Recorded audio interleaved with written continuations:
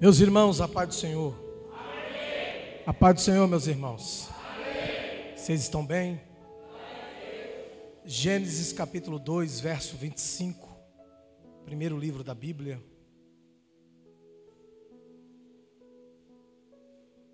Capítulo 2, verso 25.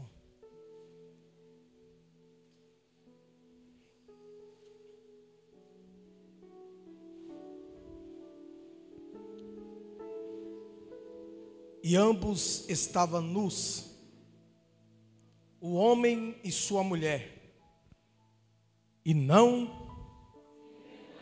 e não, nós lemos aqui o primeiro casal da Bíblia. A Bíblia diz que eles tinham uma intimidade por causa da glória de Deus, eles andavam nu e não se envergonhavam. Por que não se vergonhavam? Porque não tinha pecado, porque não tinha do que se envergonhar. O que está faltando para nós hoje em dia é se envergonhar daquilo que fazemos. Adão e Eva não se envergonhavam porque não tinha pecado. E porque nós não nos envergonhamos com os pecados que cometemos. É bem verdade é que eles não se envergonhavam, eles andavam em unidade, eles andavam em transparência, eles não escondiam nada um do outro. Um dos maiores motivos que Deus vai dar a lei foi para nos ensinar a ter vergonha. Quando Deus dá a lei, nós sabemos que se ultrapassar aquilo é pecado, e o pecado traz vergonha, traz consequência, traz, traz erros. Nunca haverá arrependimento, irmãos, sem antes você passar pela experiência da vergonha. Posso ouvir um glória a Deus? É por isso que Jesus veio, aleluia, para cobrir a nossa vergonha, para perdoar os nossos pecados. Mas a Bíblia diz: se você confessar, Ele vai perdoar os vossos pecados. Agora imagine, irmão Carlos, o casal que não se vergonhava de nada, o casal que não tinha vergonha, um casal que tinha unidade, o casal que andava juntos. No capítulo 3, no verso 6, Olha o que a Bíblia vai dizer, capítulo 3, verso 6. E vendo a mulher que aquela árvore era boa para se comer e agradável aos olhos, e a árvore desejável para dar entendimento, tomou do seu fruto e comeu, e deu também ao seu marido, e ele comeu, e ele comeu. Agora imagina, Deus dá uma ordem para o homem, para o sacerdote. Quando Deus dá ordem dizendo que não era para ele comer, Eva ainda não fazia parte da existência, ou melhor, Eva não, a varoa não fazia parte da existência. A ordem foi dada para o homem. Mas aí você conhece o texto bíblico que a serpente sagaz, ela vai colocar a palavra de Deus em jogo mentindo. O que acontece com Adão? Que Adão não vai aconselhar a sua esposa. Aonde está Adão que Adão não aconselha? Aonde está Adão que Adão fica calado? Adão é o tipo daquele crente. Eu não posso falar senão ninguém vai me entender. Eu não posso falar senão minhas palavras vão ser interpretadas erradas. Deixa eu falar algo para você, meu irmão. Se você tiver medo de se expressar, nunca você vai ter voz, nunca você vai ter palavra. É você que é o sacerdote na tua casa. Deus te chamou para você abrir a boca. Deus te chamou para você denunciar. Deus te chamou, aleluia. Adão não disse nada para sua esposa. Pergunta por quê? Pergunta por quê? Porque para aquele que não quer dizer nada, o silêncio é um sinal de defesa. Você já viu quando o advogado chega no criminoso e diz: fica calado, não fala nada, porque o silêncio é um sinal de defesa. Muitas coisas que acontecem é o silêncio, um sinal de defesa. Aí você fala assim, igual Adão: prefiro não falar e ficar calado. Se você ficar calado e não falar, você está colocando em jogo a tua casa, a santidade, a obra de Deus, as coisas de Deus. Então Adão fica em silêncio. Aí tem uma frase que você exposta muito. Pergunta qual?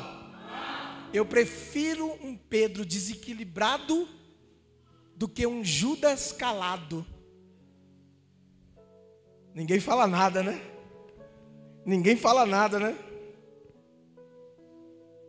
Adão fica calado, Adão não quer se expor. Mas quais são as falhas de Adão? Primeiro, ele falha como representante de Deus, porque naquele jardim ele era o representante de Deus. Na sua casa, você é representante de Deus. Na sua empresa, você é representante de Deus. Se você ficar calado, meu irmão, você está sendo omisso. Aleluia. Então comece a pregar a palavra, comece a falar a verdade. Use a tua boca. Ei, deixa eu dizer para você: Deus não habita em tijolos, Deus habita em pessoas. Você, aleluia, é templo de Deus. Ei, deixa eu dizer para você: aqui nós igreja, porque fazemos parte de um corpo, muitas pessoas, mas você é um tijolo do templo, você faz parte, aleluia, você representa, você é testemunha de Cristo, e a tua família, quando olha para você, diz: já vem um crente, aí eles vão ver que a tua palavra tem poder, que a tua oração tem poder, que a glória de Deus está sobre a tua vida. Primeira falha, representante de Deus, ele falhou, ele Segunda falha que Adão tem: falhou como homem, não defendeu a sua esposa, não defendeu a sua mulher, deixou a serpente enganar, ficou distante. E sabe qual é a desculpa que a gente usamos? Deus mandou ficar em silêncio.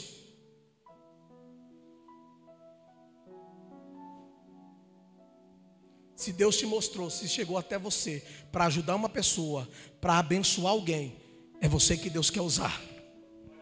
Isso, só um glória a Deus. É você que quer usar. O homem tem uma inclinação natural em permanecer em silêncio por causa de Adão. Mas eu quero profetizar aqui, não só para os homens, mas também para as mulheres de Deus. Está na hora de tomar o sacerdócio lá dentro da tua casa. É tanta coisa que você tem visto e você está falando. Ah, meu Deus, sim, tem hora que você tem que ficar em silêncio, mas tem hora que você tem que profetizar. que Você tem que abrir a boca e dizer: aqui não, Satanás, aqui não, diabo. Esta casa é de Deus, a família é de Deus. Ei, e tem gente que diz assim, pastor, eu tenho medo de retaliação. Meu irmão, a Bíblia diz assim: que as portas do inferno não não prevalecerão. A única arma que o diabo tem e é porta. Porta não é para atacar, porta é para se defender. Você sabe aqueles palácios? Aqueles palácios defende a porta para os inimigos não entrar. Não é você que tem que ter medo do diabo, é o diabo que tem que ter medo de você. Eu vou repetir: não é você que tem que ter medo do diabo, é o diabo que tem que ter medo de você, porque a tua oração tem poder, você tem arma espiritual. Levanta a mão, dá um glória a Deus aí. Não dá para lutar com porta. Não dá para lutar com porta. Eu vou repetir: não dá para lutar com porta. Está na hora de você tirar esse medo e partir para cima. Está na hora de você tirar esse medo e ser homem de Deus, mulher de Deus, de verdade. Agora me diz uma coisa, eu encerro agora. Adão tinha intimidade com Deus, sim ou não? Adão via Deus, sim ou não? Deus ia cultuar com Adão, sim ou não? Que, que adianta ter tanta intimidade e ficar calado? Ninguém fala nada, né? O que, que adianta ter tanta intimidade e ficar calado e deixar a serpente fazer o que quer? Capítulo 3, verso 7.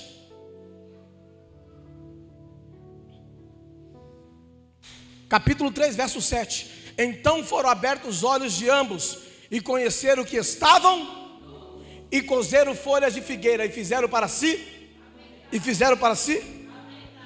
Quando eles rompem a intimidade com Deus, perderam a unidade.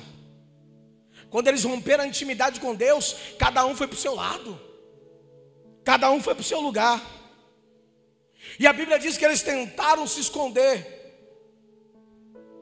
Agora, um homem que via Deus face a face, o homem que estava ali com Deus no culto, agora está querendo se esconder de, não só de Deus, mas também da sua voz.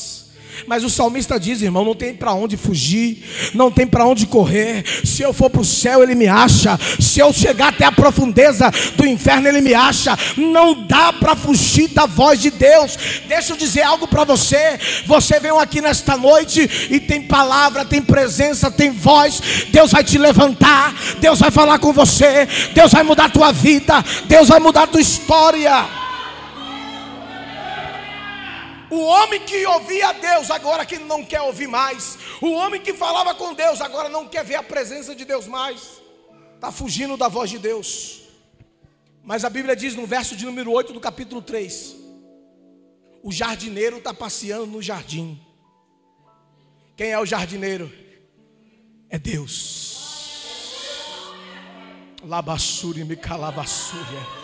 Não é por causa do pecado de Adão que Deus não vai visitar o jardim.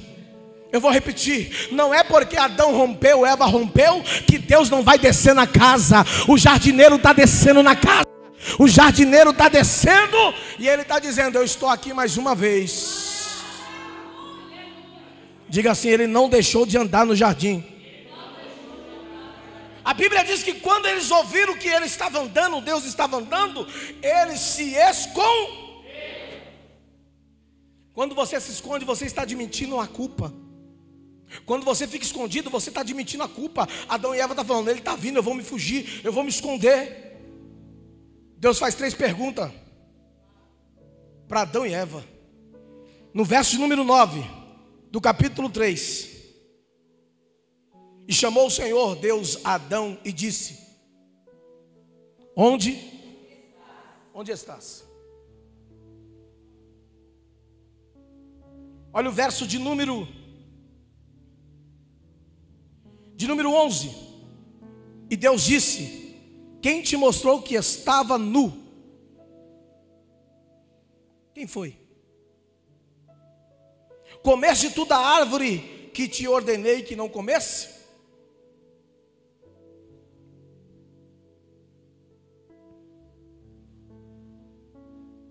É interessante que Deus vai fazer perguntas, dando oportunidades de um arrependimento. Eu vou repetir para você: Deus vai tocar na ferida para ver se Adão se arrepende. Porque Deus ele não fez inferno para o homem, não, irmão. Deus ele fez inferno para o homem, não. Foi para o diabo. A misericórdia de Deus alcança todos, alcança a prostituta, alcança o traficante, alcança o viciado. O meu Jesus ainda liberta o drogado. O meu Jesus, ele pega um bandido e faz dele um homem de Deus. Ele pega uma prostituta e faz dela uma princesa de Deus. Jesus está dizendo: Ei Ei, aonde estás, Adão? O que tu fizeste? É noite de arrependimento, é noite que o sangue do Cordeiro vai lavar os nossos pecados, porque há perdão, há misericórdia. Sabe que Adão vai responder: Eu estou escondido, porque eu estou com medo. Eu estou, eu estou com medo. E ações motivadas pelo medo tira a fé e também não agrada a Deus. Tira esse medo da tua vida hoje, querido. Ei, aquilo que você está passando, tira o medo e encara a tempestade, tira o medo, encara o deserto. Deus está dizendo para você: tira o medo, porque eu estou contigo nessa situação. Eles romperam com Deus, aí começa a encrenca. Começa o quê? No verso 12. Então disse o homem: A mulher que tu me deste por esposa, ela me deu a, da árvore e eu. Adão está dizendo: Não fui eu que fui culpado, não. O Senhor é culpado. Eu estava tão bem sozinho. Mas a mulher que tu me destes, Deixa eu dizer algo para você aqui. Está dentro dos nossos corações o encantamento que encantou Adão e Eva. Pergunta qual? Há possibilidades de tomar decisões sem Deus do lado. Toma cuidado. Possibilidades de tomar decisões sem Deus do lado. Deus não estava lá. Quem entendeu aí? O mesmo sentimento de encantamento de Adão e Eva está nos nossos corações. Nós tomamos decisões sem Deus autorizar, sem Deus estar do lado. Verso 22: Então disse o Senhor Deus: Eis que o homem se tornou como um de nós, conhecedor do bem. Como assim? Conhecedor do bem e do mal. Se eu vou visitar o jardim, e pergunto para Adão: Adão, eu quero conhecer o jardim. Sabe o que Adão ia falar para mim? Ó, oh, você pode comer de todo o fruto, mas desse fruto aqui Deus falou que você não pode comer. Então Adão, ele dava ordens dentro do jardim, mas ele não tinha o conhecimento do bem, porque o conhecimento do bem e do mal, só quem tinha era Deus. Adão não sabia que era bem e Adão não sabia que era mal. Mas depois a Bíblia diz que abriu seus olhos e agora ele tem um conhecimento do bem. Já percebeu a geração que nós estamos vivendo? Deixa eu te explicar. Nós estamos vivendo numa geração aonde nós conhecemos o bem e o mal. E às vezes o mal que está em você para mim é bem. O mal que você está fazendo para mim é bem, e o bem que eu estou fazendo para você é.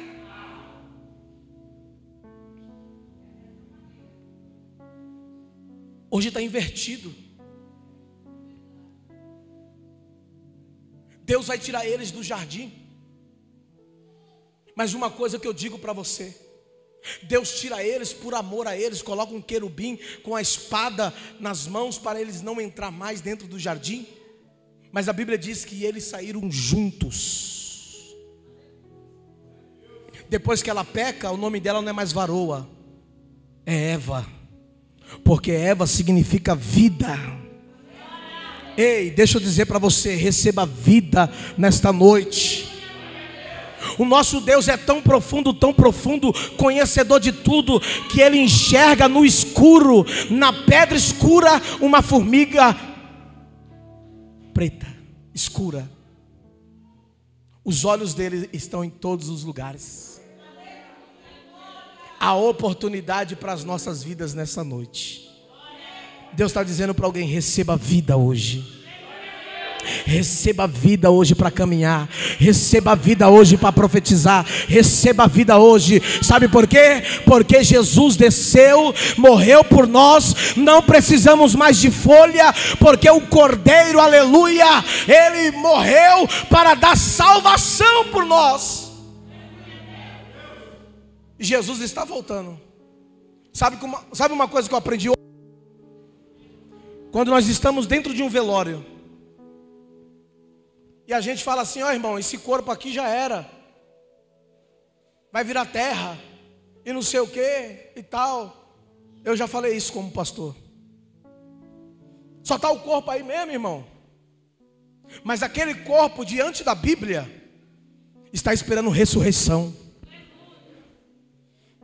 Mas não vai ser naquele corpo, vai ser um corpo glorificado, mas aquele corpo está esperando a voz de Jesus e a volta dele. Posso ouvir um glória a Deus? Você pode aplaudir ao Senhor?